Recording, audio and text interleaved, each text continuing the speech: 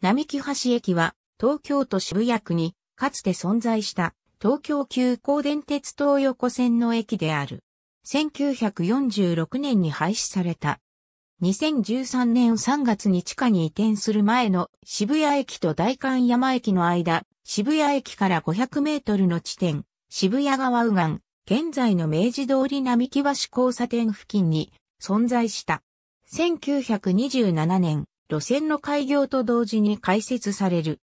付近には、国学院大学や実践女子学園、青山学院、後に移転した東京農業大学や常磐松高等女学校などの学校が存在しており、それらへの通学の便を図っての設置であった。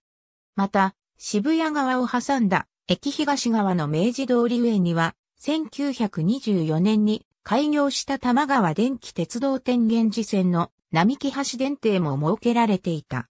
1945年5月24日25日の空襲により駅舎が全焼したため休止され、翌年正式に廃止される。駅の廃止後も、高架自体は2013年3月15日まで使われていたため、ホームの側壁が2013年の線路の付け替え時点まで残っていた。駅の後付近では夜間に列車の留置を行っており、その際に乗務員が使うステップが側壁上に設けられていた。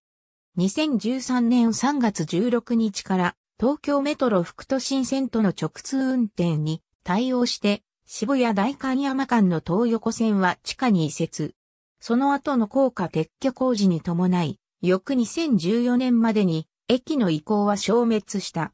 現在、跡地付近は遊歩道として整備されている。高架下に残っていた行き先案内。た、横、桜の文字が確認できる。相対式ホームに面2線の高架駅で、ガード下に木造駅舎があった。